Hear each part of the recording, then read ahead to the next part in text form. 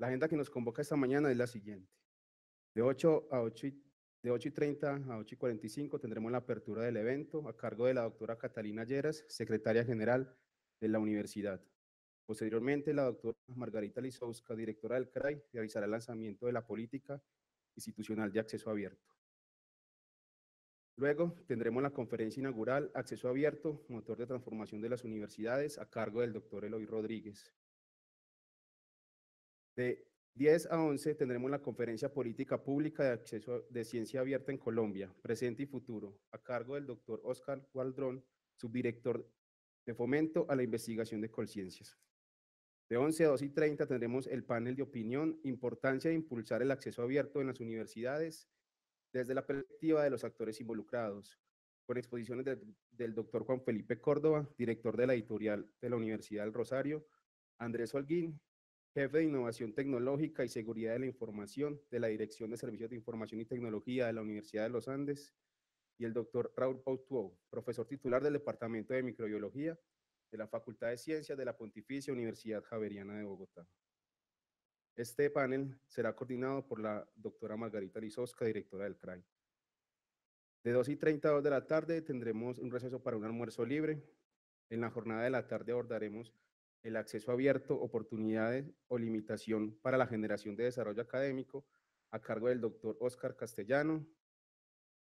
De 2 y 45 a 3 y 30 tendremos la conferencia Acceso Abierto y las TICs a cargo del doctor Daniel Quintero, viceministro de Tecnologías y Sistemas de Información.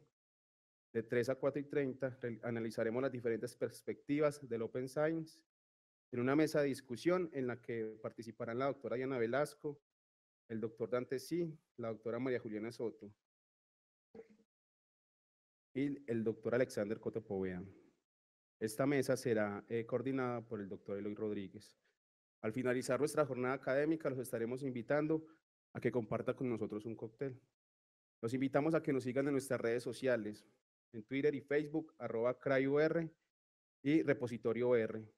Todas las preguntas que surjan durante esta jornada pueden ser enviadas a nuestra cuenta de Twitter, arroba repositorio R, con el hashtag acceso abierto UR. Esperamos que la agenda que hemos preparado para este día cumpla con sus expectativas y les brinde las herramientas para discernir sobre el papel de los centros de recursos para el aprendizaje y la investigación en el desarrollo de las actividades misionales de la universidad. Para dar inicio a esta jornada, invitamos a la doctora Catalina Lleras, secretaria general de la universidad, quien instalará el evento y dará la apertura oficial.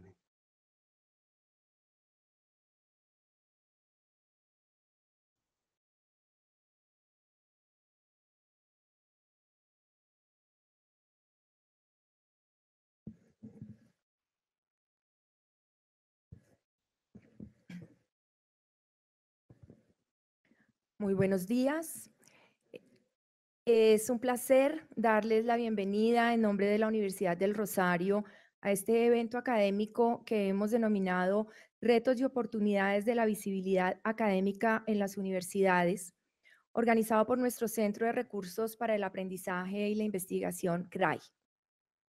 Quiero, antes que todo, excusar al señor rector, doctor José Manuel Restrepa Bondano, quien por compromisos académicos de última hora no pudo acompañarnos como estaba previsto en el programa, y a la señora vicerrectora Stephanie Lavaux, quien si bien no pudo asistir a esta apertura, estará con nosotros em, en el día de mañana.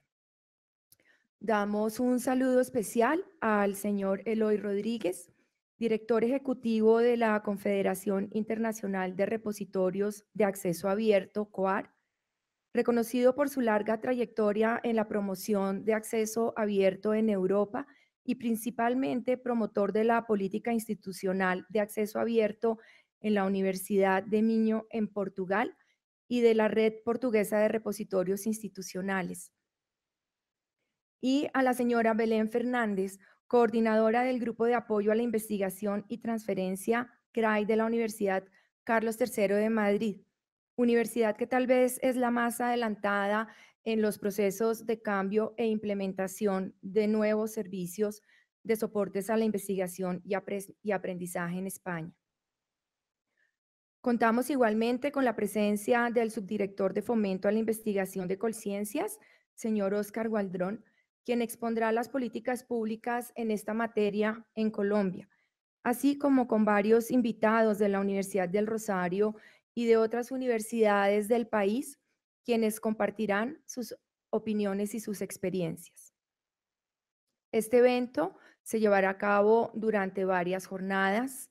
La jornada del día de hoy se tratará sobre el acceso abierto como oportunidad de transformación de las universidades, en la que se hará el lanzamiento de nuestra política institucional de acceso abierto por parte de la directora del CRAI, Malgorzata Lizoska, y de la Declaración de Berlín de Acceso Abierto, que fue suscrita por la Universidad del Rosario en febrero de este año. En la jornada del día de mañana sobre transformación de servicios de apoyo para el aprendizaje y la investigación, compartiremos con la comunidad académica el cambio y la transformación de la biblioteca de la Universidad del Rosario en Centro de Recursos para el Aprendizaje y la Investigación, CRAI. En el tercer día, como ya se mencionó, se llevarán a cabo talleres de trabajo.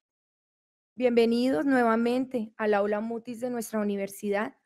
Agradecemos a nuestros conferencistas internacionales y nacionales el haber aceptado nuestra invitación para participar en este evento que constituye una apuesta institucional de gran importancia. Y a ustedes por su asistencia a estas jornadas que estoy segura serán de gran interés y provecho.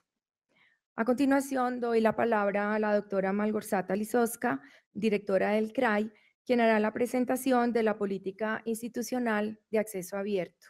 Muchas gracias.